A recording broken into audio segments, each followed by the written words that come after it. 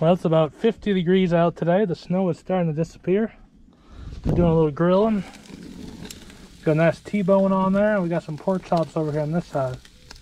We'll cook them on low for a while. Get the flavor from the grill going. We have to get that new grill out pretty soon because this burner on this side is pretty shot. So, looks like I'm going to uh, move that one around because there's a little grease fire going on. We'll get a tongs, move that around.